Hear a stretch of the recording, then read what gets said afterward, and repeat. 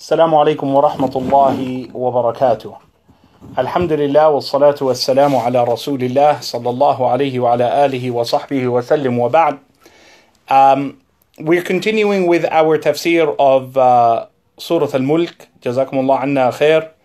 Uh, we've reached ayah number 10 where Allah subhanahu wa ta'ala has begun letting us know what the people who have entered into Jahannam begin to say and to debate with the angels.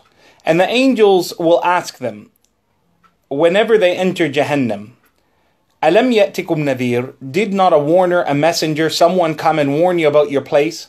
قالوا بلى قد جاءنا نذير فكذبنا وقلنا ما نزل الله من شيء. They will say, yes, there did come to us someone who warned us about this predicament that we're now in in Jahannam. فكذبنا, we lied, we, we gave them no chance, we would not accept anything. وقلنا ما نزل الله, and we denied any possibility that Allah subhanahu wa ta'ala has sent anyone to lead us to the truth, even though inside ourselves we recognize it was truth. In antum illa fi dalalin kabir, the indictment, of course, you are in a severe uh, uh, mode of misguidance. May Allah subhanahu wa ta'ala forgive us. The ayah that we study today, waqalu. Now, those who are in Jahannam will rationalize why they are there and what could have saved them. And there's two things that lead you to a recognition of Allah. وقالوا, they will say, لو كنا نسمع أو نعقل ما كنا في أصحاب السعير. They will say, had we simply listened, نسمع أو نعقل, or given particular thought, attention, deliberation, not just hearing, but also considered it, thought about it, we would never have found ourselves in this place in Jahannam.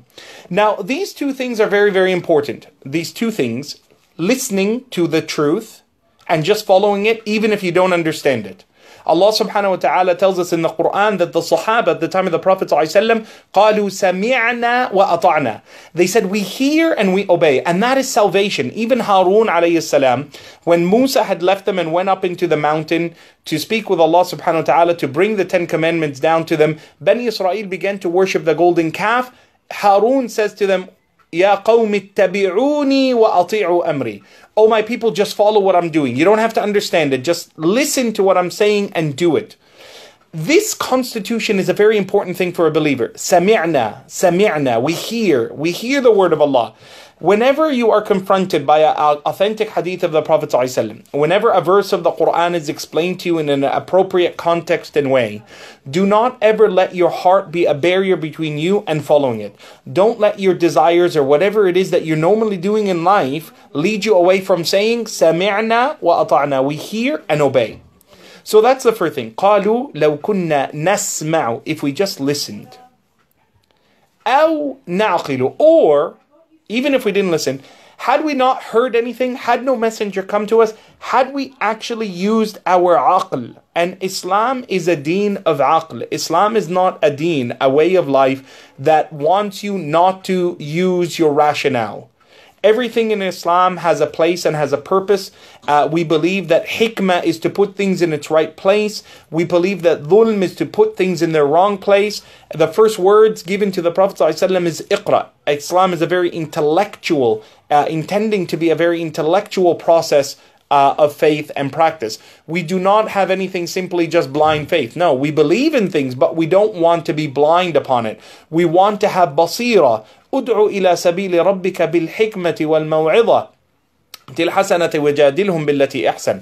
We debate people, we discuss, we theorize and we postulate, but we always come back to a grounding of knowledge. Islam فَعْلَمْ أَنَّهُ لَا إِلَهَ إِلَّا اللَّهِ O Muhammad, let your deen begin with the knowledge that none is worthy of worship but God. So knowledge is the foundation of all faith, and from knowledge grows certainty. لَوْ أَوْ نَعْقِلُ Had we thought, had we looked up into the heavens, as Allah just told them in the beginning of the surah we studied three, a few days ago, look up into the sky once and twice. Had we thought about the gravity of that, had we thought that these stars did not just put themselves where they are, that they didn't just come out of nothing, we would not be where we are today.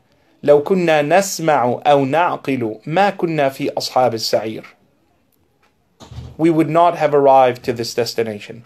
And therefore, your intellect is not something that you should suspend. It is something that you should uh, uh, hold on to.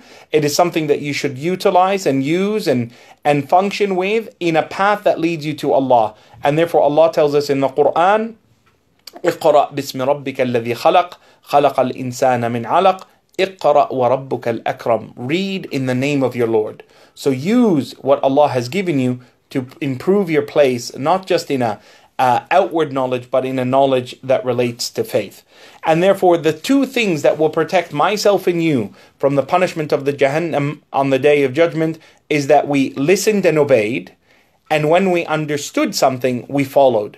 Don't let your heart ever contradict what your soul invites you to when it is something that leads you towards Allah.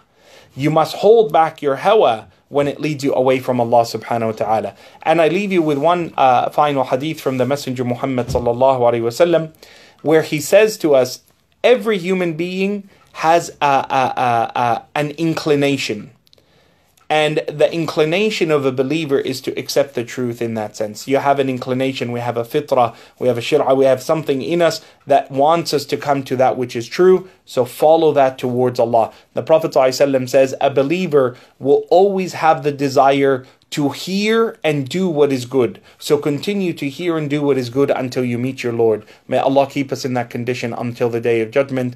Uh, Allahumma ameen. And I hope you will join me again tomorrow where we continue with verse number 11. So now we're one third of the way through Surah Al Mulk. I pray that it brings some benefit and light into our lives. I encourage you to begin learning it and memorizing it so that you can read it every night as is recommended to us by the Prophet ﷺ, so that we will be saved from the punishment of Jahannam and from the punishment of the grave. وصل اللهم وسلم وزد وبارك على سيدنا ونبينا محمد صلى الله عليه وعلى آله وصحبه وسلم والسلام عليكم ورحمة الله وبركاته.